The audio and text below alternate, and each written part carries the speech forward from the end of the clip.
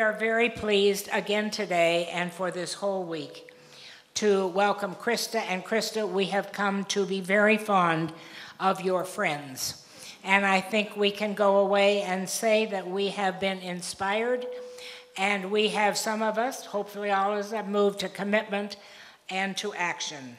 And today she will introduce us to her very special guest, Dr. Krauss, and I'm going to let her do that introduction. I had the privilege of having breakfast with him, and I can tell you you're in for a challenge and a treat, without any question. Let me once again thank the Lewis Miller Memorial Fund for their commitment to Chautauqua over the many years since its very beginning, and especially for their support of this program. So let us give a warm welcome to our guests and ready ourselves for a program.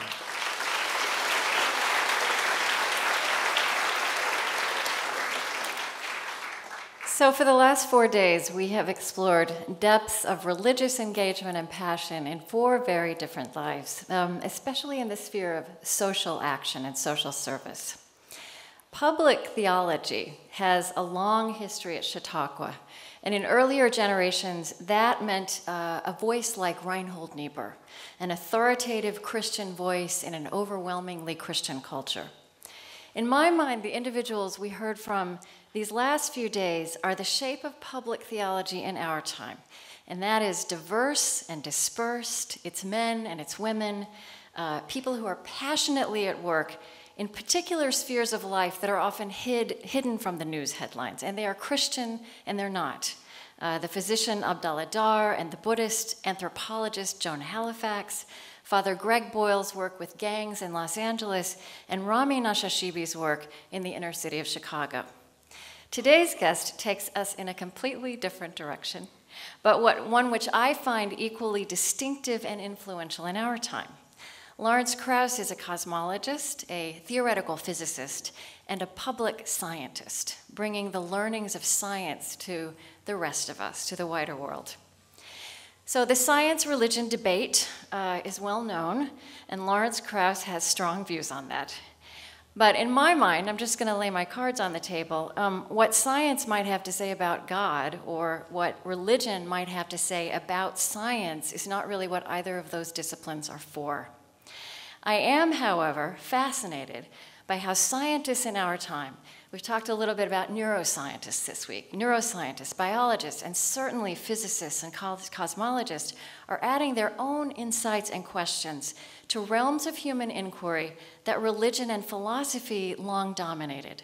Where did we come from? What does it mean to be human? What does the future hold? What is our place in the universe? Science is, at, is as much at the center of everyday life as it's ever been.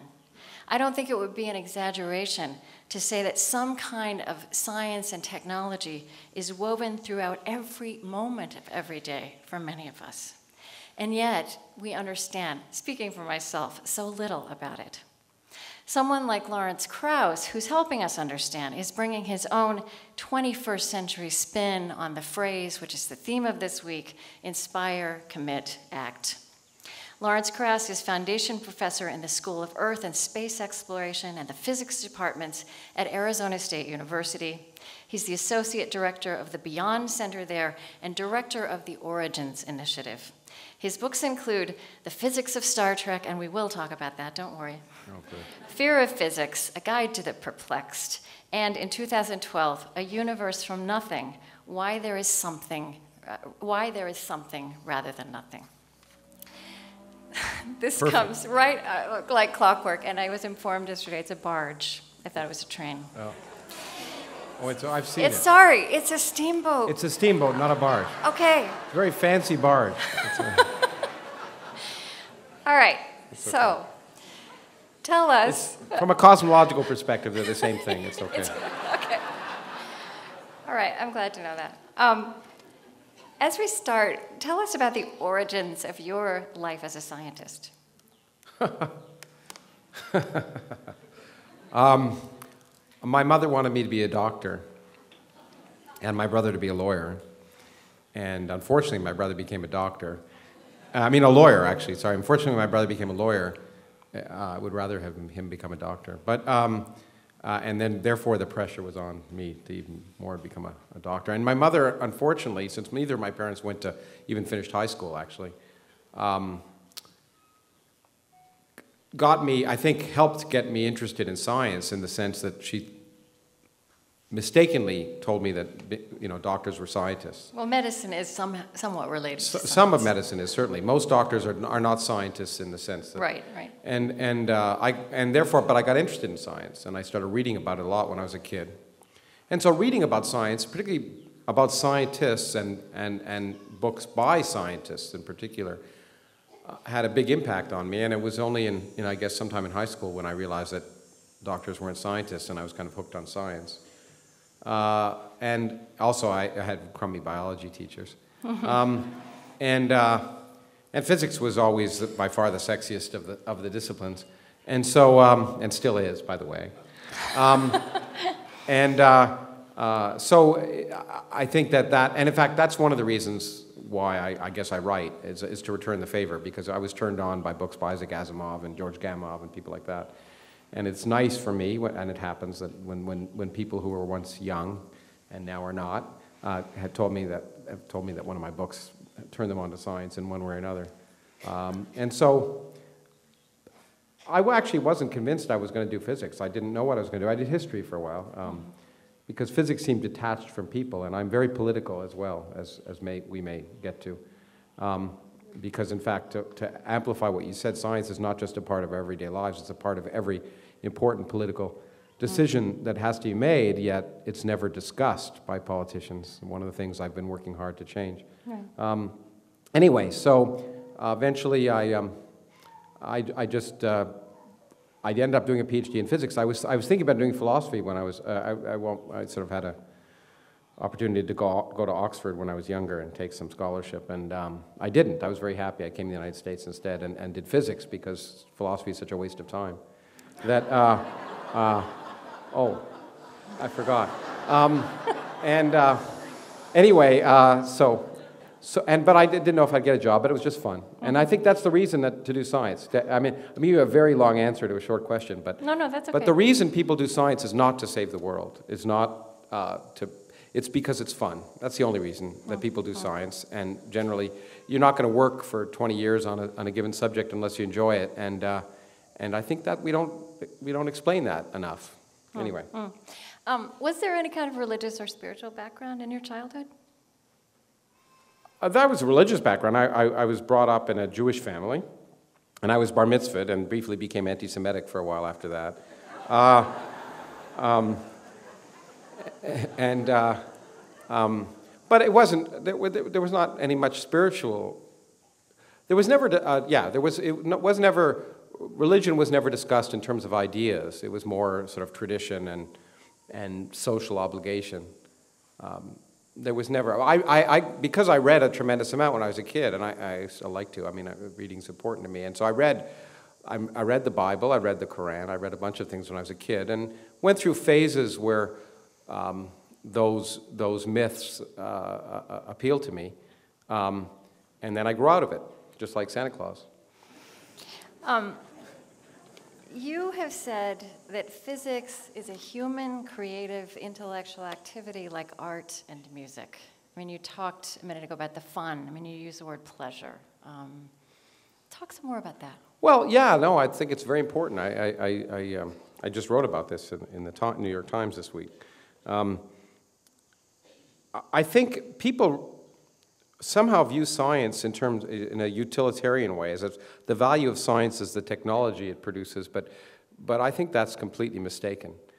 I think obviously science is responsible for the technology that's allowing us to have this discussion, and pretty well everything that allows most of you to still be alive which is vitally important, and therefore it's changed our lives more than anything else. But to me, the most exciting thing about science is the ideas. Science has produced the most interesting ideas that humans have ever come up with, certainly among the most interesting. And somehow, although it wasn't always this way, I was just having a discussion in Aspen last week on this very subject. It wasn't always this way, but now, now it's somehow the ideas of science are not you are not a part of our culture. It's perfectly acceptable to consider yourself literate if you understand, if you know something about Shakespeare, but not if you know anything about the Higgs boson. And uh, I think that's a, that's a mistake. I think to be, and it, as I say, it's relatively recent. You, you, you used to be considered illiterate if you didn't have some ability to discuss at some level natural philosophy 200 years ago, or even at the turn of the last century. And now it's perfectly acceptable to say, oh, I just, you know, I don't get science. And scientists are responsible for a lot of that, I, I, I have to say. But it's the ideas of science that make it so much, so important for humans, because it's part of what makes being human worth being human. The ideas of science. As I often say, we, we don't remember the Greek plumbing so much. Uh, we, we remember their architecture and their ideas. Mm-hmm. And uh, I think, um, and I think for me, that's what makes science worth, worth, worth exploring for people. Uh, mo- most people don't have to know how to build the detailed things of science, but, to, but the ideas change our perspective of our place in the cosmos. And to me, that's what great art, music, and literature is all about, is when you see a play or, or see a painting or hear a wonderful piece of music, in some sense it changes your perspective of yourself. And that's what science does in a profoundly important way, and a way with content uh, that, that matters. Okay. You're, you're, a musical person, or you, you love music, you're passionate about music, aren't you? Uh, on paper, I look like a musical person. Okay, um, that uh, true? I love, I do like music. I like mm-hmm. art, but I love, yeah, I like music a lot. Yeah. I mean, I have, if you've read my biography, you know I have some, some apparent credentials, but they're all fake. I, was, I was nominated that. for a Grammy, I will admit that. It's um, true.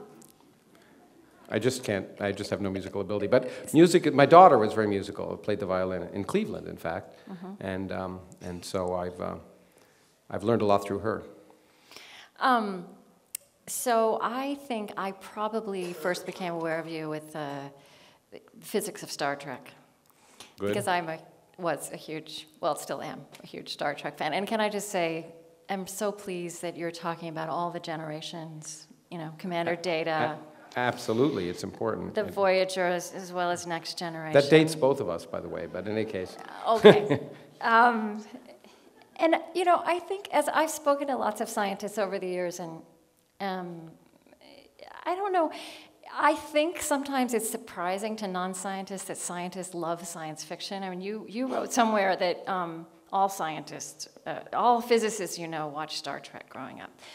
But, but, but then as I was thinking about this and thinking about the way you, you um, put science like in the realm of being cultured and arts, and I mean, science fiction is a narrative, imaginative uh, rendering yeah. of, sci- of what scientists do. It's interesting discover. you should put it that way, in fact, because it's really interesting that you put it that way because people imagine science fiction is an imaginative rendering of science, when in fact science is a far more imaginative rendering of science fiction.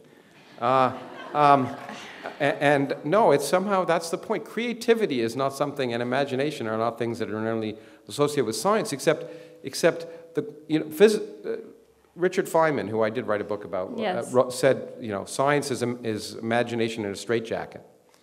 And, and it's really, it's far more difficult to conform your imagination to the evidence of reality than to invent your own realities. In fact, that's religion as an example. And um, uh, I'll wait for the Yeah, for the we'll response. get to it, but I'm but, just um, not going to go there yet. Okay. But anyway, no, so, so I loved, I did like science fiction until I discovered that science is much more interesting than science fiction. The universe continues to surprise us in ways that we would never imagine, which is why the way, by the way, why I'm a theoretical physicist, but but science and physics are empirical disciplines.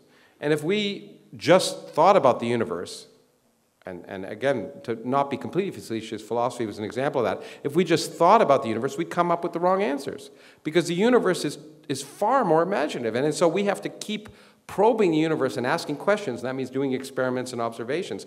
Because it constantly surprises us, and in ways that no one would have imagined. And all, one of the things that amuses me about science fiction is how it misses all the really big things. so, so do other physicists watch Star Trek growing up and then they realize that science is more interesting? That, it's hard to know. I've, I mean, I mean I've thought about that a lot. People ask me. It's hard to know if, this, if, the, if the watching Star Trek influenced them to become scientists or the other way around, or whether their interest in science was promoted. I think there's no doubt, and Stephen Hawking wrote the foreword for, for that particular book, and he said, it, you know, it, it helps spur the imagination, and it does. So to the Yeah. extent that I think it was one of the, I used to think it was a geeky thing to watch Star Trek. It isn't. And one of the things that amazed me when I wrote that particular book, that shocked me, was how broadly and deeply Star Trek had permeated not just the culture in the United States, but around the world. Um, and it wasn't just 16 year old boys watching it. No. And it was, you know, and, and people who became scientists, lawyers and, and women. And it was, it's kind of interesting. It's not a, a gender thing either. Uh, and, so- and what the reason that I think that's the case is that it was, it presented two things a hopeful view of the future, which science fiction doesn't often do, and a view of the future where science actually made the world a better place. Yes. The Star Trek future is a better place because of science. And um, I can't resist saying it here now that I think about it, but it was one of the reasons, if you, if you know in Star Trek, that, then, that basically um, um, they've dispensed with the quaint notions that we, of myopic views of the 20th century, including most of the world's religions. Yeah, well, yeah, okay. We're not going to go there still. Um, Okay. I keep trying to get you there, but it's not going to go work. Yeah, they did, but then you had in the next generation, you had this kind of semi, im- this immortal, semi-divine Q, which- Q. Uh, we One of my favorite do this. It's characters, too so I- inside baseball. I mean, but you know, just to this point that that uh, Stephen Hawking did write the foreword to your physics of Star Trek. I mean, there was there's an episode of of Star Trek: The Next Generation where he. He was in the show, and Sure. he was together with Einstein, who obviously was not there in person, although maybe Yeah. Uh-huh. he can bend space time that much. I don't know. A couple of others, and uh, and Stephen Hawking wrote in the foreword to your book. I was very pleased that Data decided to call Newton, Einstein, and me for a game of poker aboard the Enterprise. So we And have I- to I go on, Stephen but I, well. I wish we could talk about this for an hour. Um, That's the reason he appeared on the show. I'm sure it was one of his requirements. And as you've pointed out, um, often, you know, like literature and the arts, um, science is getting at origins. Uh, who are we? Where do we come from? Where are we going? So, but in a very different way than religion approaches these things, or philosophy, or the arts. So, as a cosmologist, biting my tongue. yeah, I know, no, but I just want to hear from you. Like, as a physicist, how do you approach the question of origins? What are you looking at? What are you exploring? Well, I, I think I'm exploring the same questions that people have had since they, you know, since people have been people. Uh, we all want to know where we come from, uh, uh, how the universe originated, how it'll end, what we're made of, uh, um, and, and, and that naturally does lead to questions of is there purpose and, and, and are we here for a reason, I think. But those aren't Tho- science Those aren't questions. scientific Yeah, questions, and in fact, as, it, it- that's what I was just going to get at. They're not Yeah. scientific questions. Uh, um, uh, they presume, in fact, most people, in fact, the, uh, I've gotten in a lot of trouble from some philosophers recently because I use the word why. Why is there something rather than nothing? And in fact, my, as I say very clearly in the book, why, why questions don't mean anything. They're, they're content free. Any of you who have children who've been asked why, why, why, when the end, ultimately the answer, only answer to that is because, uh, and that is also content free. Because why presumes purpose. Whenever we say why, we really mean how, at least in science. In science, yeah. And, and it's true, and, and, and that has content. And, and we say, when we mean why in religion, we're presuming the answer before we ask the question. We're presuming there's purpose. There must be a reason for our existence, otherwise, why? And, and it, science doesn't make that presumption. And the remarkable thing is, science finds the universe works pretty well without that presumption. Um, and, and so when we ask, when we ask the, the, the why, as we used to ask, you know, we can ask the question, why are there nine planets? And there are nine planets, by the way. Pluto is a planet. I don't care what my friend Neil Tyson says. Um, uh, my daughter studied Pluto in grade four and did a project on Pluto, and I don't plan for her to go back. And, uh, uh, but when we ask that question, we don't, it, you know, when, when Kepler asked the question, say, why are there five planets, he might have meant there was some divine purpose. He would talk about the Platonic solids and all that. But now we've changed the meaning of that because we realize that there aren't five, not only are there not five planets, that there's nothing special about nine planets. There are solar systems around most stars we see. We've discovered 2,000 planets already. And, and so the question we really means how are there nine planets? How did our solar system arise? Is it different than other solar systems? Is it natural to have an Earth like planet? Could there be life elsewhere? Those are productive questions. And so science changes the kind of questions we ask by changing the meaning of words because we learn things. We change the meaning because we understand the universe and we make progress. And I would argue that's why science, it's nothing wrong about changing the meaning, it's because there's progress in science, unlike, uh, you know, theology. I'm sorry, I keep trying to hope I'll provoke some people here, but, but, but what I mean by that is we're forced, science, one of the values of science is to make us uncomfortable. Somehow that's supposed, that's, that's supposed to be a bad thing for many people being uncomfortable. Being uncomfortable is a good thing because it forces you to reassess your, your place in the cosmos. And being too comfortable means you become complacent and you stop thinking. And, and, and so being uncomfortable should be a spiritually uplifting experience. So I don't mean that science isn't spiritually uplifting. I do think it is, but for the very reasons that, that the very antithetical reasons to religion, I guess, is the fact that it causes us to feel less, less comfortable should provoke us to un- try and understand what, our, what we can do and what meaning we can make in the universe. And so, um, learning that we're more insignificant or learning that the universe isn't made for us and, or there's no evidence that it is, uh, is, is profoundly inspiring or should be.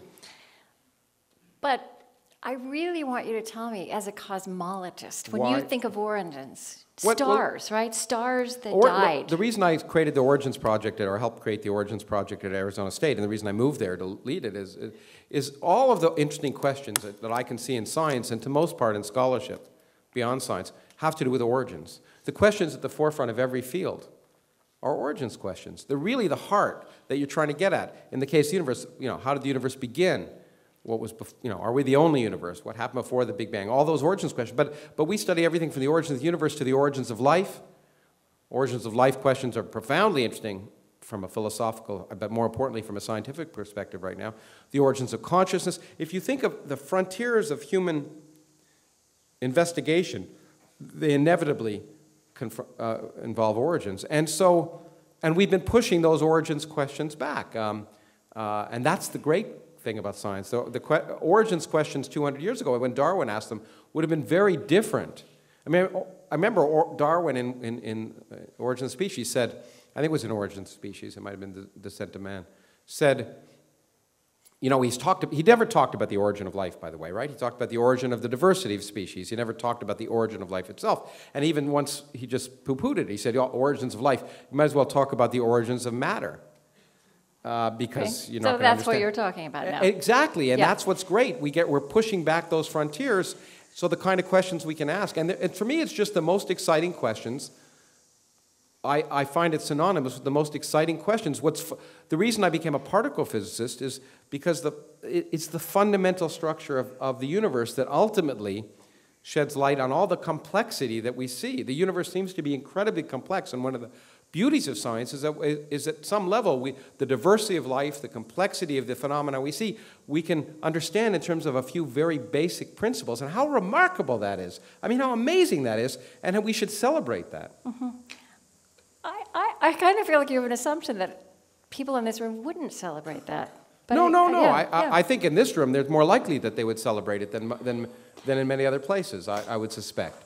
Uh, yeah, no, it's true to all of you. Um, okay, so, you know, one thing you're really great at is explaining, you know, taking concepts of physics. And um, I, I, I- thought we might do a little bit of that, but maybe we save that for the, you know, we- you know. If there's you. anything, any burning question you have, I'm happy to answer it. Well, I have lots of burning questions, but I think maybe what would be fun to talk about now specifically is the, is the Higgs boson, which is something that's out there that we're talking about that's not new but newly, newly more likely, right? I mean, not you can't say 150% proven, but there's new It- evidence, right? It's certainly captured, yeah, it's cap- Yeah. not only captured the imagination of And, physicists, and around that is one of these fundamental ways of talking about what it's all made of and how it comes together. Yeah, and, and, and, and, and, and again, to promote my piece in the Times on Tuesday, I, I tried to explain, uh,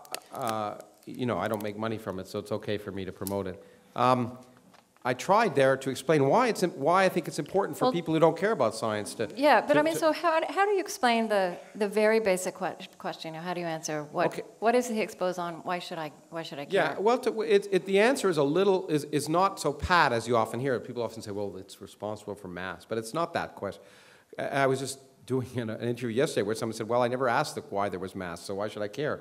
And and and and it's true. Well, It's not as if you wake up and say, "Gee, why do particles have mass?" It, it's, it, it could be just a given. Uh, but it's much more, there's a much more interesting intellectual reason why we were led there. And it's, an, it's a reason that we should celebrate but I bet most of the people here don't know why we should celebrate, so, so I'll explain it. Okay. Um, we should celebrate a revolution in our understanding that took place uh, about 45 years ago, or within, the, within the last 50 years. A totally complete revolution in our understanding of the universe that's been unheralded. You don't read about it much. In the 19, early 1960s, there are four forces in nature electromagnetism, which you know of, and gravity, the two you're most familiar with. There are two more called the strong force and the weak force. In 1962 or 3, we understood one. One force in nature, electromagnetism, is the only force we understood as a quantum theory.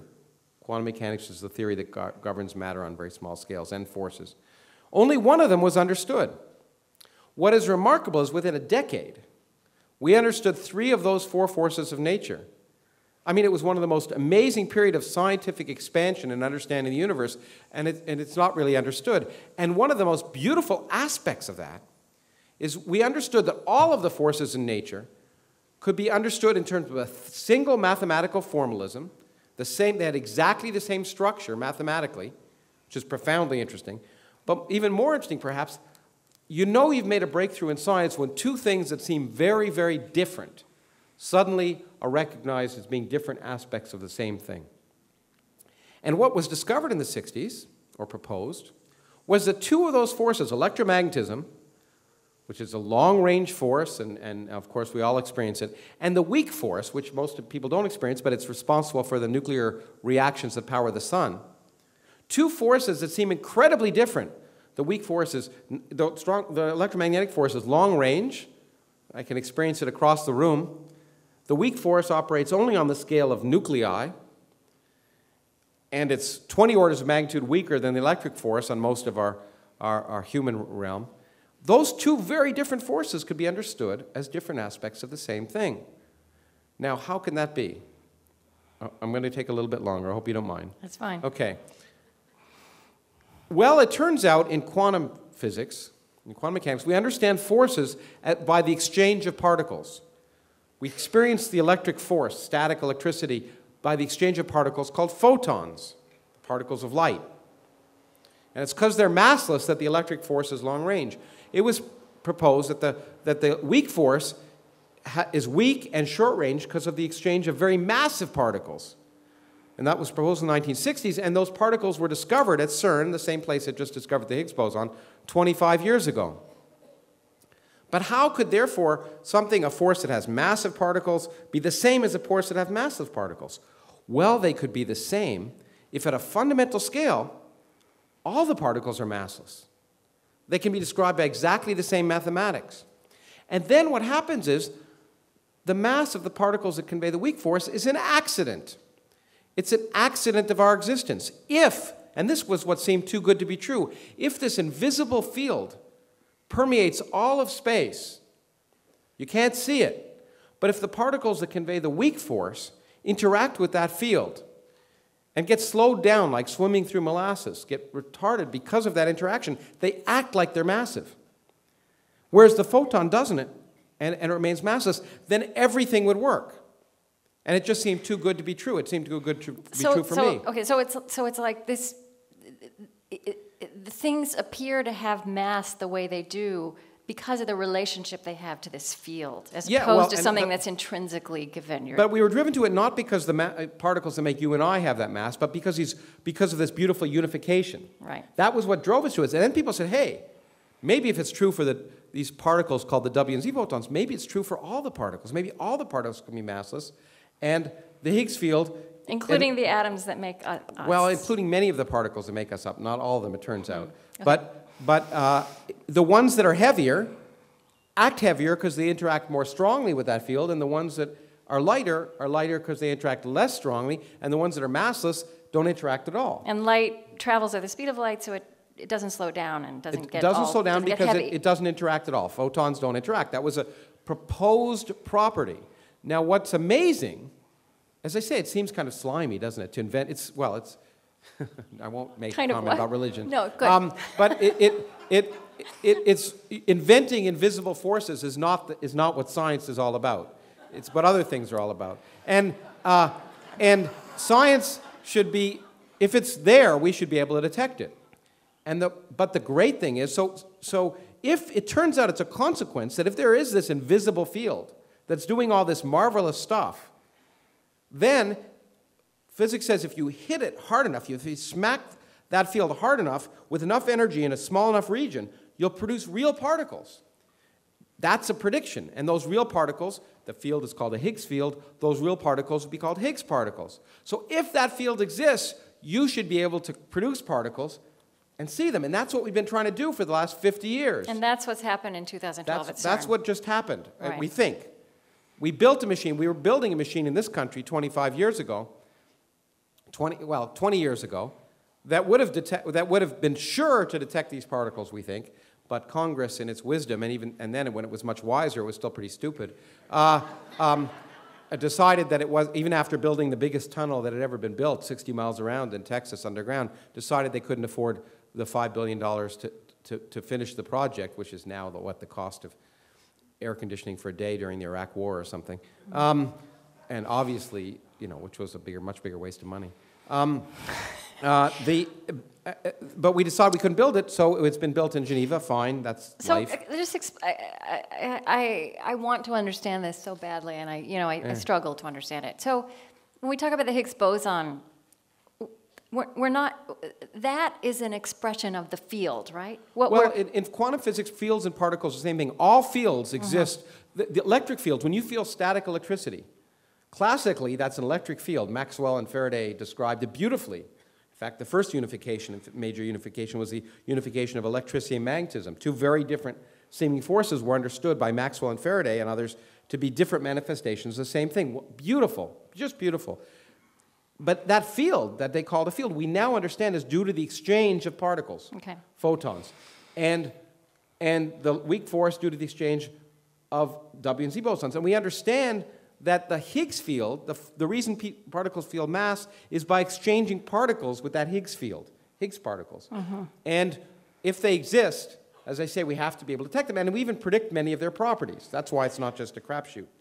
We didn't know their mass, but we predict many of their properties. And the particle that's been observed, the bump that's been observed in Geneva, is Higgs like. It, it seems to have all the properties of the Higgs, and, and it's where we kind of would have expected it maybe to be, which is what surprised me because I was betting against it. I was sure like this beautiful Stephen Hawking betted against it too, right? yeah, he well, lost and it's one of the few times that Stephen and I agree, in fact. But, but it just seemed Yeah. too good to be true, and, it, and it's so rare that nature obeys what we imagine to be true that I thought nature would come up with a much more interesting way around it, and, Hmm. and, um, and, and I would never have guessed it was true, and it's still not certain that it's true. In fact, what's really beautiful is every time we make a discovery in, in science, we, we end up having more questions than answers.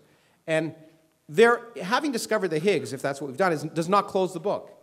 Because we still don't understand why this Higgs field exists in the universe, which is really, and why, by why I mean how, um, why, why that Higgs field exists, because that's really what's responsible for our existence. We wouldn't be here if it weren't for it. And we think that, there, that besides just discovering this particle, there are other tantalizing hints. In fact, in the nature of what's been discovered, plus what we expect, it'll say the Large Hadron Collider at Geneva will, will point us in the right direction to answering those questions. We've been, as I often say, like people locked in a room with sensory deprivation for 40 years. What happens? You hallucinate. And that's what most of the business of what I've been in is hallucinating for the last 40 years.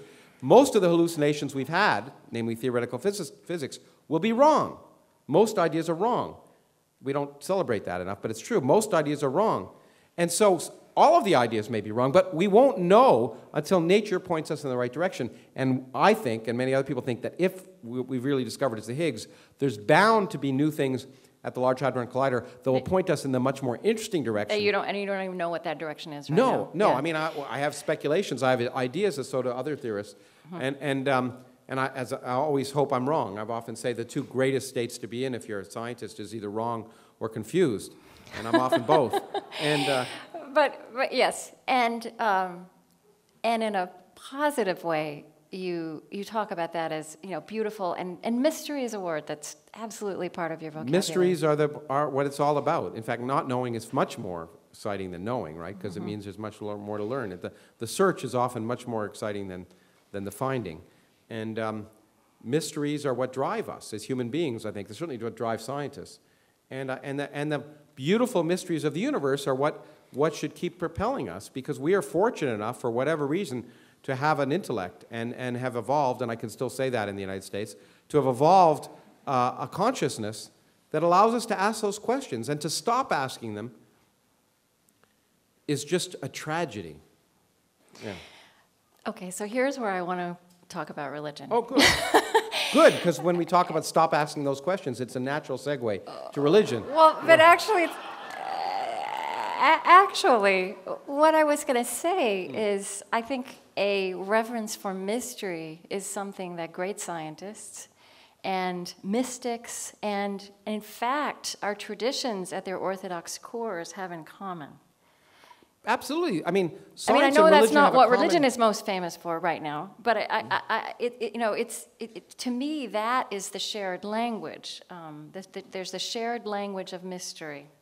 Yeah, yeah, I'll I'll give you that. No, and, and I mean, the origin.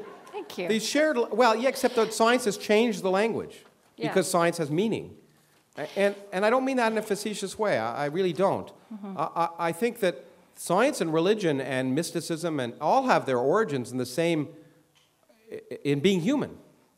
They all have common origins. The difference is that science, is, science has moved beyond, has taken us beyond our childhood. So, so one thing that um, happens to me because I spend my life in conversations, and so I, I start to have this cumulative conversation in my head. And so, a couple of people I was thinking of as I was uh, reading you and kind of getting inside your head. By the way, I think I, I talk about my uh, my interview methodology as. Um, the Vulcan mind meld Oh, method. excellent. Okay, so that I try to uh, you know, your thoughts to my thoughts. I try to just know everything I can, so I'm kind of have an idea of how someone thinks, not just what they Good. know. I want you to know the earth moved for me as well. That I'm what? Okay. No, it doesn't matter. I'm just, anyway. I didn't hear that, and I'm not going to ask That won't get into the radio program, Okay. I'm sure. I didn't hear it. And okay, so two people I thought of. Um, I mean, one is I think a lot of what you're arguing with in religion, a lot of religious people would argue with too. And um, but I kept thinking of a geneticist, Lindon Eaves. Do you know him? He's done a lot of the biggest long-term studies of twins, and he's also an Anglican priest. Um, and he uh, s- said to me. Um, that when he was in his laboratory, you know, religion most of the time had no place there. He said, I keep it, at, I hold it at bay. And at the same time, when he's sitting at the bedside of somebody who's dying of cancer, science has nothing to say in that moment. There's meaning. Oh, I disagree about that. I, I think, I, you know, I know always people say, in fact, a very famous biologist said, when I'm, the minute I go in the lab, what I'm does an science atheist. have to say to death, to dying? Not, not to the biological breakdown of a body, but to the existential moment of dying. I, I, I, I think it has a tremendous amount to say. It, it- I mean, it has to say to us that, you know, what, first of all, it has to say what dying is. What is dying? No, What's yeah, the okay, process there's of dying? that, there's that, No, no, because with, you know, I mean, we're all going to experience it. And I think a realistic assessment of what the process is helps us understand what we're going to experience and try and make sense of it. but what, I mean, With, I, it seems to me you can't make sense enough to make a, even an ethical or moral decision without understanding the basis in reality. You can, of course, but when you do, when you make your ethical and moral decisions based without a basis in reality, then you end up with the Republican Party, and and and and and. Uh, And uh, no, I'm serious. It was a joke, but I'm But here- serious. I think so. I think, so, and science can say, look. What, what seems to me, what science could say is what I was, I've sort of said in the book is that look, um, there's no, you know, so people are going to say if what I'm about to say is going to sound awful, And, I, and I'm not going to go to someone's bedside and offer this. Okay? It's up to them to decide if they want to, to look at these things. But we should at least offer the possibility of that knowledge. That there's no, that there's no evidence, in fact, every bit of evidence that there's, there's no afterlife, that you're here, but in fact, the meaning of your life is the meaning that you make. And in your life, you've made incredible meaning. You've, created love for other people. You've, you've brought up children. You've, you've created new knowledge. You've, you've allowed people to have livelihoods. And that meaning has made your life worthwhile and enjoy every second of being alive. And, if you, and, and, and death is, is, is, a, is a sad but necessary part of being alive. And, those, and, and I, that may not sound like the same comfort uh, of saying, that you know you're, you're going to have eternal life and you're going to be with your, your I family. think, or, uh, you I know, don't and think be- is talking to people about eternal life. No, I but, mean, but, so, but, but I don't see why science, why that's any less comforting than. But what you just said isn't science. Yes, it is. It's, it's saying there's no evidence. I mean, here's what we're saying is that. But you don't you don't can't put meaning under a microscope. You can't you can't you can't shoot particles at it in the large No, but I don't understand what meaning is till I know, till I ask the questions of, of, of how the universe behaves. And, I, and, I, and look, there could be, we can never disprove purpose. But, but we, you know, so I can never say there's no purpose to the universe. I could just say the universe behaves as if there's no purpose, but that may just mean I'm missing the point, as, as a lot of people may think. But, but uh, th- there could have been, but you can answer it in the positive. But there's no evidence. I could, the, the stars tonight, if the stars tonight realigned themselves and said, I am here, in, in Greek, presumably, um, uh, ancient Greek, uh, then, then hey, I'd say, you know, maybe there's something to all this. Yeah. Uh, but, the, but in the absence of that, I can't, I can't, as Bertrand Russell said, you know, I can't disprove that there's a teapot orbiting Jupiter. I can't, and I can't. There's no evidence of it, and it's highly unlikely. And, and, I, think, and I think providing that reality check is useful to people, not just when they're dying, but when they're alive. It seems to me, you know, some people say that religion gives meaning to their lives, but to me, the knowledge that the meaning we have is the meaning we make should inspire us to do better. And so I think that, I personally think that every single thing that religion provides, rationality, empiricism, and science can provide, and not only that, it can provide it better. Anyway. Um, well, what do you know? So the, the other the other voice that was in my head was somebody who's I did not interview in person, Rabbi Abraham Joshua Heschel. Uh-huh. He died. I- yeah, I know of him. I knew his daughter. Oh, did you? Yeah, Yeah. Susanna. But you know, he talked a lot. He talked a lot like you do about radical amazement. That the whole point of life is to be surprised and to be surprised over and over again, and that spiritual life is about learning to be surprised. And here's something he wrote. Um, it is customary to blame secular science and anti religious philosophy for the eclipse of religion in modern society. It would be more honest to blame religion for its own defeats. Religion declined not because it was refuted, but because it became irrelevant, dull, oppressive, insipid. This is a rabbi from a Oh, long cool. line of Yeah, rabbis. yeah. When faith is completely replaced by creed, worship by discipline, love by habit, when the crisis of today is ignored because of the splendor of the past, when faith becomes an heirloom rather than a living fountain, when religion speaks only in the, in the name of authority rather than with the voice of compassion, its message becomes meaningless. And I just read that because I, when I read you talking about religion, and I really don't want to debate it because. No, there's no debate. I think we're having a discussion, Yeah, so, yeah, yeah. I do too. Um, I feel like I'm not sure if you've been exposed to that kind of religious voice, which, which I think have would, a- would well, I, enjoy I think, I mean, it's a brilliant statement. And, and you know, the wisdom, wisdom is not the province of just of scientists or, or, of, or, or of anyone. I mean, you know, there, and, and that's a wise statement. Wisdom comes from experience and knowledge. And uh, hi- understanding history and understanding the universe, the, the reason to know things is, is, in some sense, to reflect on them and become wiser. And, and it's not the province of anyone. And, and people seem to think I suggest it's the province of science. Science is the raw material that provides the basis of wisdom, and, and um, for some people. And, uh, and so uh, I don't want to um, stereotype religion per se. Uh, and I often, they're brilliant statements. I've often quoted them. I, I've gone into many places, and fundamentalist colleges and, and Fox News, and, and, uh, and uh, the same thing.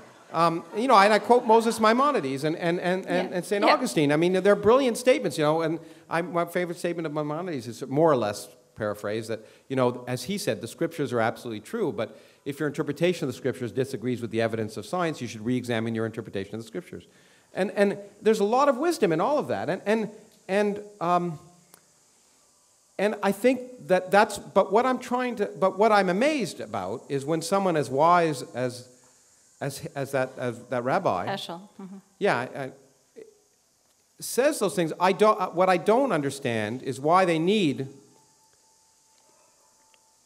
religion or the, or the, the doct. I mean, if you're a rabbi at some level, you buy into the importance of Judaism.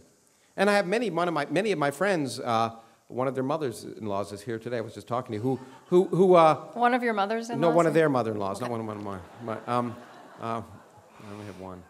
Um, uh, and um, uh, they often say, "Well, you don't have to believe in God to be Jewish," and I say, "That's uh, you know, it's absolutely tri- true. But what's the point?" Well, you know, Uh, you know, uh, I, I mean, because the, the wisdom, there's, there's cultural wisdom. There's, you know, there's beauty in, in, in, in, in, the, in, in, in, mid, in the masses that have been written for the church. There's beauty in the paintings that Mm-hmm. Leonardo da Vinci and others and Michelangelo and others did in the context of religion. But that doesn't, that's just the, the response to the culture of the time. And, and I don't see why, given what you know now, you can't have that same wisdom without discarding the, the provincial basis of it, which was based, let's face it, on the, the imaginings of illiterate peasants, Bronze Age peasants, before we knew the Earth even orbited the sun. So, uh, you know, and I think Einstein actually analyzed it that way too, and the, Mm-hmm. primitive origins of religion, although he, and he did not believe in a personal God, and his statement what about God, no, his yeah. statement about God playing dice had nothing to do with God, and Niels Bohr came back and said, who is Einstein to tell God what to do? And, Yeah. But he did, at the end of his life, become very appreciative of Judaism. You know, he, he said, Judaism is about life as we live it and can know it, that, that aspect of, of religion. But, okay. Yeah, no, no, and, and, accept, and so if you accept it as a philosophy, it's, it's fine up to a point, although actually, you know, I have grave problems with, with it as a philosophy as well. But, you know, there's wisdom in all the writings that humans have come up with at some level, and we should appreciate that wisdom. And, and, and I don't mean to suggest we shouldn't open our minds to trying to see those reflections and the mm-hmm. potential wisdom, but we don't, but I guess, as Einstein would have said, I don't see the underpinnings. And he would have, you know, and, and a, uh, as a cultural thing, he would have said, well, it's important to preserve that culture. And, and I guess I believe strongly in preserving culture, but culture that's, that's, um, that's based on, on productive uh, reality. So, so one of the things that uh, the other people we've I've been talking to this week, um, the, the other people who've been here at Chautauqua are all religious people who've been working in in serving others, right? In Yeah. in compassion and do- and, doing much more useful stuff than I do. well, I- you know, I- working working with with people who need help and. Um, Yeah, no, I admire tremendously what but they I, do. but I just, you know, in a, you, I think, say something. So we've talked a lot that this, this concept of the other comes up and the problem human beings have with the other. Um, and it's a, it's a problem not just for religion, but for our society. Um, and you have talked about uh, the other in these terms that we are connected organically to everyone who's ever lived, even our enemies, through the atoms and the oxygen we breathe. I mean, I think that is an example of science throwing this fabulous new light on something that vexes us. Absolutely, in a much more productive way than saying we're all brothers under the skin or something. Um, because we really are, but it's really amazing. Every time you breathe in, you breathe in atoms from virtually everyone who's ever lived. Every time you take a drink of water, you, you, you're drinking the secretions of every slimy thing that's ever been around. And, and, and you know, as I, I said in the beginning of, uh, of the book Atom, that my mother used to tell me when I picked up a glass of water, don't touch that, you don't know where it's been. She had no idea. But, uh, um, but, but uh, I think that, that, that's exactly, to me, what science can provide is a realistic basis of understanding how artificial and myopic the definitions of us versus our enemies are. We're made of, not only are we made of the same things, we're made of their atoms.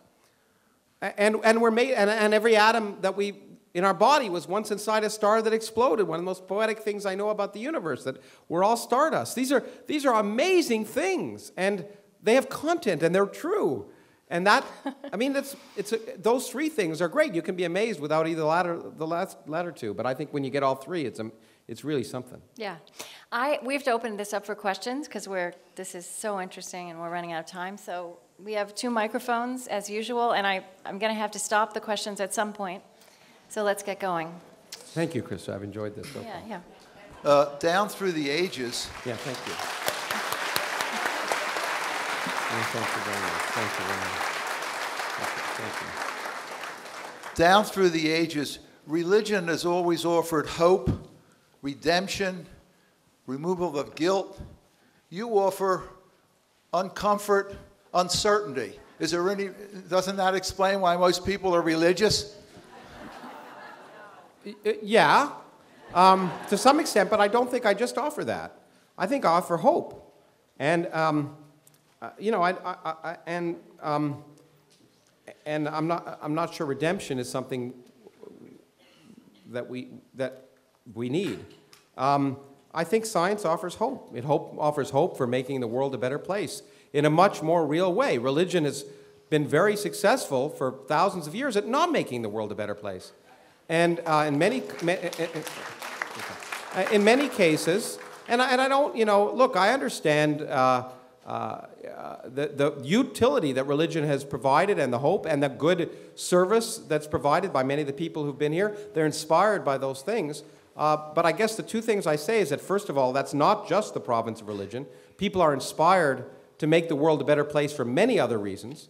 They can have hope in the future um, because, for many other reasons. And, and, and so, um, uh, and, and I would say, on balance, that, um, that religion has not achieved those goals in all the time it's been there. And, and you know, my friend Steven Pinker wrote a, uh, a wonderful book. It's a long book, a wrong, uh, The Better Angels of Our Nature, um, which, which really discusses the reduction in violence over, over human history, which is amazing because we all have this presumption, you know, we're, we're talked about terrorism and all this nonsense, and, and we're taught to be afraid because it's very effective to control people who are afraid.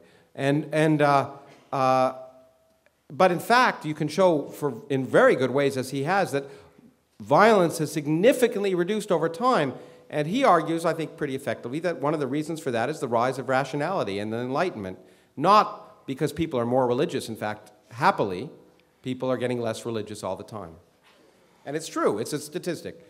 People are getting, no matter what, in this country is a very religious country, but the statistics are going down all the time, and there's a, there's a time when you imagine it might hit zero. And, and I personally think at that time, if it ever happens, and I'm not convinced it'll ever happen, people may all, we're all hardwired to want religion in many ways from an evolutionary basis, but that the hope and the, and the lovingness and, and kindness will in fact increase instead of decrease when that happens. You know, I mean, at, I don't, at risk of, um, but I really don't want to, I just want to, I want to uh, lodge this, that I, I don't um, equate um, drop in institutional affiliation with mm, a lack of religious or spiritual depth. And I mean, I think that's, that's the quibble I would have with that We- well, I- statistic. I, would yeah. argue, and, and you know, I'm not a big person. I, I didn't know if we get into spirituality. It's a term I never really understand. But, but, but I, I think you're absolutely right. And I think what I would like to see is that science and reality provide the spiritual fulfillment that, that we need as human beings. And I think it can. And people can disagree with me about that. Okay, next question. How do you define love and from where does it come?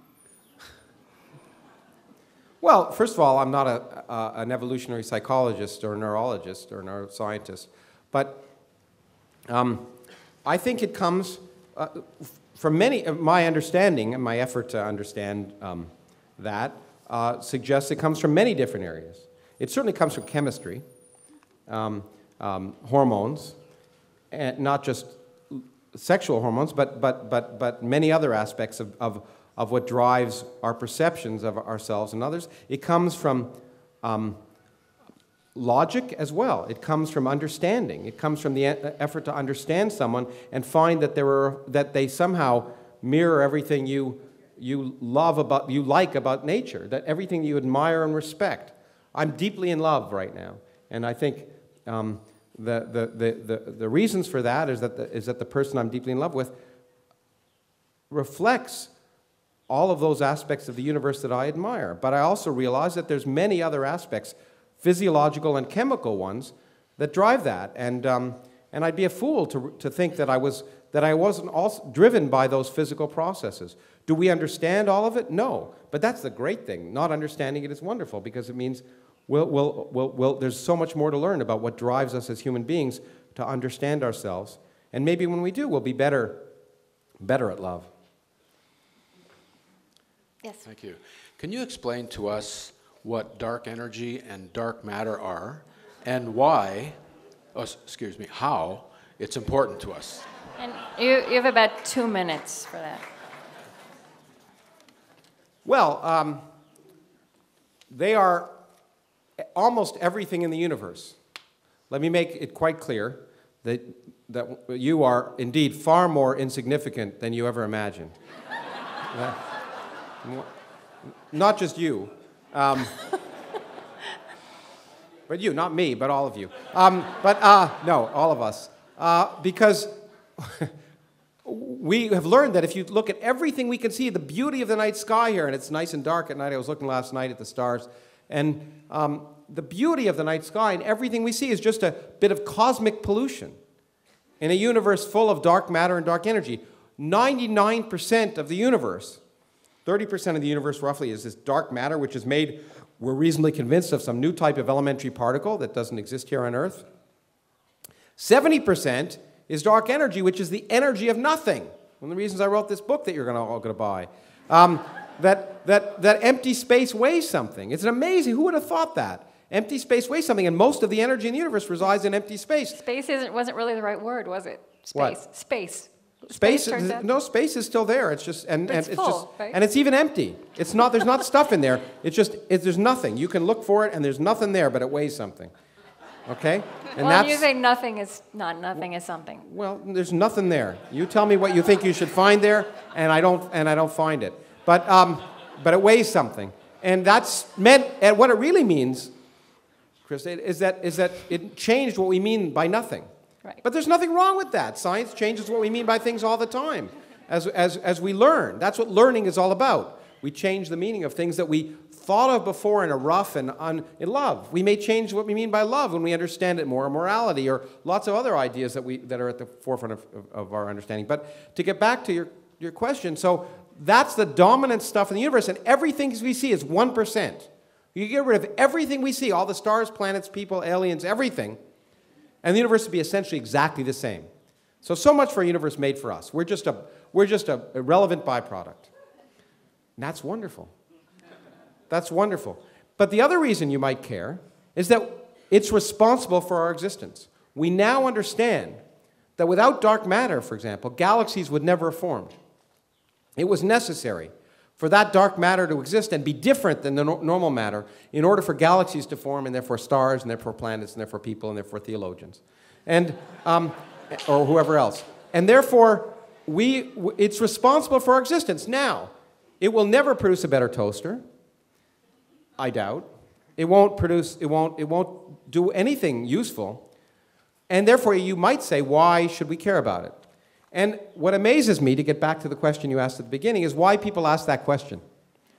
Because they never ask that question of why, what use is a Mozart concerto? Hmm. What use is a Picasso painting? What use is James Joyce Ulysses But or you whatever? know, but that's why we have to have people like you because we can't take that in. We can't. We don't know how to enjoy that. well, Just- that, we you don't. can't You're right. turn I up- agree. you There's a bigger turn barrier. up like you can for a but you know what? concert. Amazing. But at the same time, you can enjoy it. I would argue, and most people just give up. And scientists are a large part of it. Most people, when it says come to science, well, I just don't understand it. They give up thinking, and and that's a really sad part of our culture. And you know, you don't. People don't say, you know what? I can't enjoy music unless I'm a musician. Can't enjoy art unless I'm an artist. But you know what? Unless I'm a scientist, I can't enjoy science. There is a great deal to enjoy, and of course, that's one of the reasons why I do what I do. But we have to get over this idea that you don't have to think at all. Well, you have to think a little bit. But, and people just close their minds. Uh, You know, I, I write books, and so sometimes I read reviews. I try never to, but I do. And And, and a great, so you got someone, let's take the New Yorker. You get a review of a John Kenneth Galbraith book on econ, economics. That dates me. But maybe Paul Krugman if you wanted modern economics. And, and people, and the reviewer will write a 10 page review analyzing in detail what he, he says, even if they don't understand it. But a review of a science book, a really good review of a book of mine is, it boggled my mind. I don't understand it, but it just boggled my mind. Now, can you imagine them writing that about Paul Krugman and, and, and still having their job at the New Yorker? You know, I just don't understand the economics, but it boggles my mind. And, but that's a great review of a science book. You just put your mind in neutral. Yeah. Anyway. Oh, okay. Yeah. Yes. I like your uh, comment that we all need to grow up. Um, I've been told that many times. anyway, anyway, go on. Well, uh, but, but I would like to, to make a comment and also to ask a question. Sure. Uh, It takes some of us longer than others to grow up. We don't all grow up at the same pace. Yes. Uh, And in my experience, if religion is working right, we grow up. That doesn't necessarily mean that we grow out of it, but that we grow up and come, become responsible for ourselves and become responsible to become useful human beings, not out of fear, but because we choose to do it. Um, now, the other thing I would like to say is uh, we are typically a story people, and um, you would say we have followed perhaps a lot of myths far too long. But I think that some myths hold a truth that can't be said um, and can't be articulated and can't be proven. Um, that doesn't make them childlike to me. How, how would you respond to that? Well, they're both very, very interesting and important points that you've raised. Um, uh, I think we're, I think growing up is always a work in progress. I mean, we all, that's what we're doing our entire lives if we're doing it right. Right. Um, and it, and, and, the, and it comes from many different places for many different people. So you know, I, I'm not a, I'm not a, I'm not Dr. Phil. I'm not prescribing uh, nonsense that you know, pap for the public that everyone can, you know, make everyone alive better. I don't ever pretend to do that. At least I try not to. Um, you know, some things work for me and don't work for you. And, and, and that's fine. And so people get their inspiration from lots of different places. And there's, there's no doubt that for many people, um, their religion helps them grow up. I, am not suggesting that's impossible. Uh, what, what I guess I'm saying, which is where we might disagree ultimately, is that is it necessary? Now, why should I ask that question? And the only reason I ask that question is it seems to me that it is absolutely true that religion can help you grow up, but when I look at human history, I would argue the net effect of religion and organized religion has been negative. And therefore, is it a necessary component, or are there alternatives to building a society where people don't need that in order to grow up? And I would like to think of alternatives to creating such a society. Uh, I not, don't have the answers, but I'd like to ask the question. And you know, that's what I guess amazes me because, you know, I spend a lot of time lately with Richard Dawkins. We're always called these strident atheists. Uh, because you're, the minute you ask a question, you're suddenly strident. And so in the book, I ask the question is it, you know, can, do, can we do without God? Just asking that question suddenly becomes a threat. Now, why is it a threat? As I was just talking to someone this morning, you're only threatened about things you feel defensive about, questions you don't want to answer. And so if it's threatening, if asking the question, is there a God, is threatening, it means you're pretty insecure about the whole thing.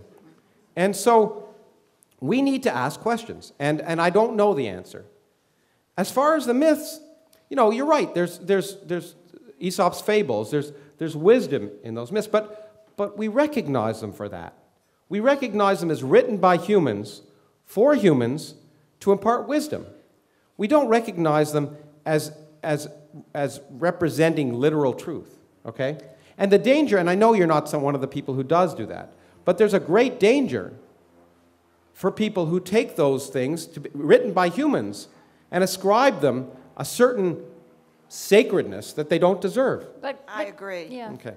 I, and I just want to add to that that um, Thank you. I, I really appreciated the question. yeah. Thank you. But, but the, the, it, it- there's a there's a potential danger. I mean, it's how you use those, right? And and science can also I mean, there's a big destructive history of science, right? The Sci- atomic Oh, bomb, right? So it's how these things are applied, which of course, that's what I said earlier. Science is the raw material, is the basis of wisdom, but science isn't wisdom. Yeah. And, and science and the technology of science can be used for good or bad. And that's why, by the way, I don't think scientists should be running the world. I know many of my colleagues, and I'd hate the idea. Um, but more importantly, I'm interested in politics. I'm a very political animal, as you know. And, but what science should do is provide the empirical basis for, for people and all people to make decisions. And in a democracy, that means an informed populace and informed legislators. And we have neither. Okay.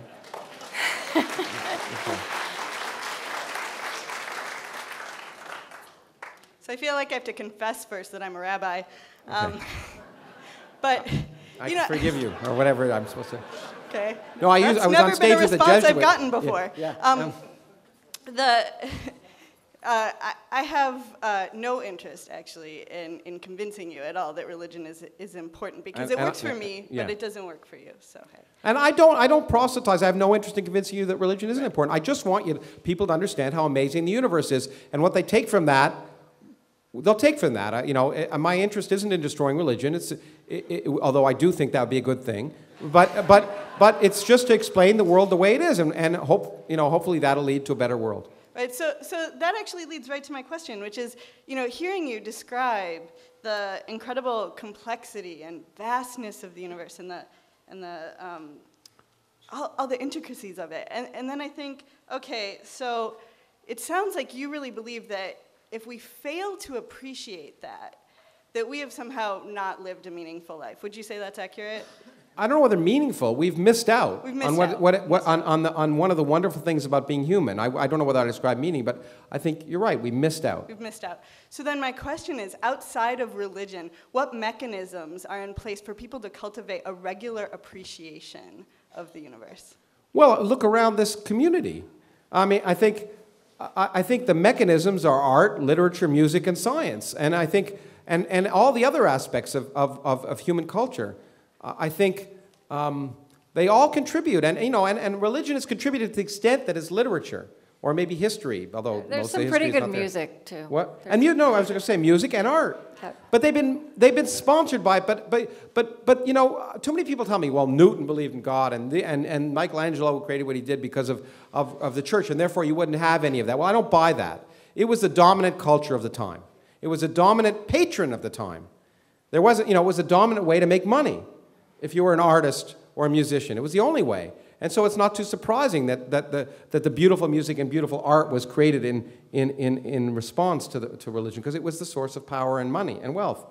And so I think that's a cultural thing. So, but I think there's a plethora of ways of, the human, of experiencing the human condition, and we should try and enjoy and experience all of them. And, and, um, uh, uh, and so, you know, people like you are rabbis, I know that what you're trying to do is help people experience the world, the beauty of the Psalms as poetry and, and allegory for understanding or whatever, and that's fine with me.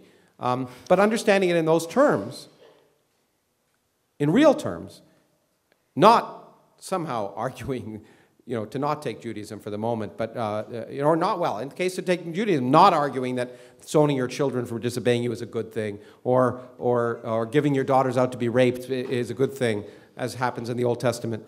Um, or that believing in the case of, let me offend everybody. Uh, uh, that, that uh, you know uh, that that this uh, a, a wafer suddenly becomes in the hand of a priest uh, the, the body literally of a first century Jew. I mean, those, that's kind of crap, you know. I- Okay. I mean, Um, we have, can you have really quick question and answer, and then we're going to come back up here to close the show, so. okay. I'll make this quick. Thanks for coming and thanks for asking great questions. Uh, uh, your, one of your colleagues, Stephen Jay Gould, I think, coined the term NOMA, non-overlapping magisteria. And in today's political culture, since you're a political junkie, uh, how do you reconcile NOMA with today's political climate and the rise of the religious right? And, and Well, I, I think. Steve, like many things Stephen Jay Gould said, that was wrong. And uh, uh, I don't believe they're non overlapping magisteria. They are. There is a tension. If there wasn't a tension, then people wouldn't feel defensive and, and, and, and there wouldn't be this kind of dialogue. There is a tension between science and religion, organized religion at least. And, um, and there, there, there are real threats. People in this country wouldn't feel threatened about teaching children about evolution if there was if, if, if they didn't feel it threatened their faith. It shouldn't. Well, maybe it might. The difference between me and and and my friend Richard Dawkins says he feels it should threaten your faith, and it will threaten your faith. And my feeling is that it, that's irrelevant. I- i- if it threatens your faith, there's something wrong with your faith. And and and and and so, okay, you can applaud, fine, okay. But but uh, uh, that's the important thing that that it that there there don't yell at him. Okay. Um,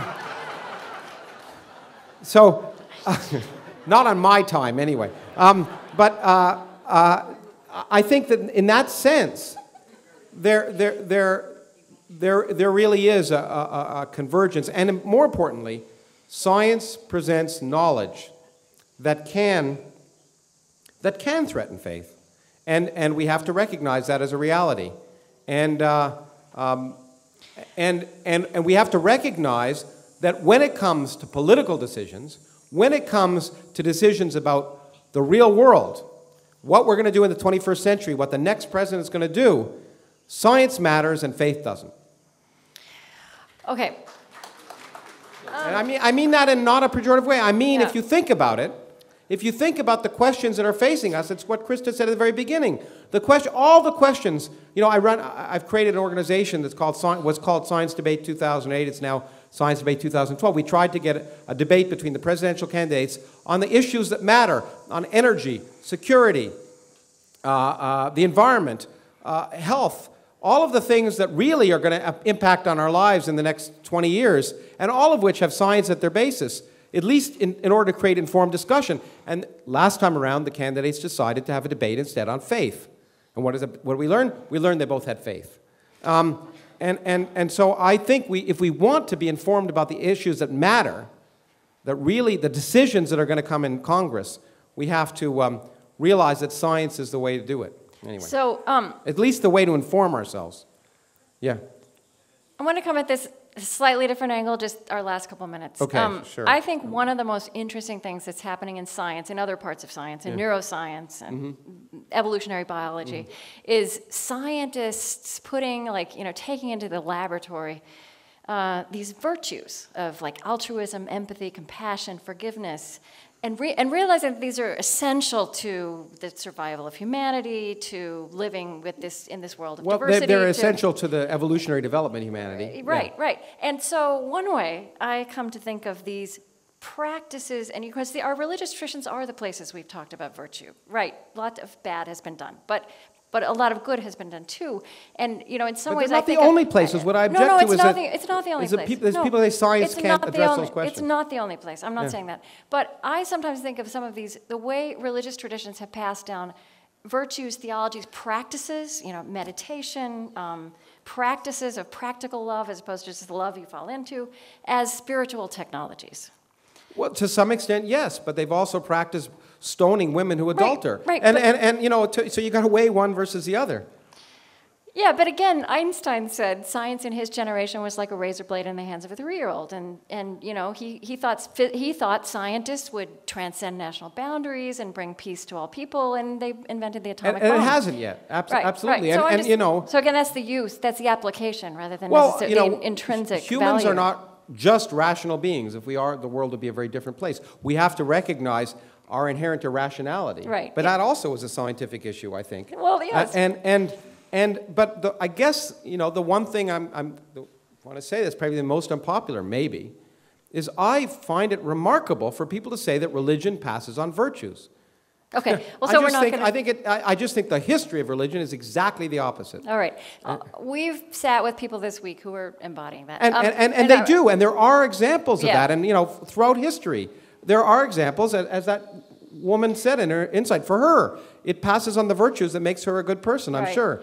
There's no doubt about that. But, So- but, but, the, but en masse, I don't think it has. So, so I want to ask you this. Just uh, so, some one scientist talked to me about the spirituality of a scientist, and here's how he described it. He said he thought the spirituality of a scientist was like the spirituality of a mystic, which is that in any given moment you are discerning truth as best you can, and you are also completely aware that you have everything yet to discover. Um, an evolutionary biologist who's not religious recently said to me he thinks scientists need to re- recover the word spirituality. He said, We talk about it, we talk about the spirit of inquiry. So I just want to ask you, you know, very personally, like, you know, if you, tr- if you did use that phrase, the spirituality of science, scientists, what would that mean for you? I think, I think you've captured some of it. If I had to use the term, I'd, I'd use awe in the wonder of nature and the realization that spirituality isn't having the answers before you ask the questions. And that's the main thing that real spirituality comes from asking the questions and opening your mind to what the answers might be. Lawrence Krauss, thank you.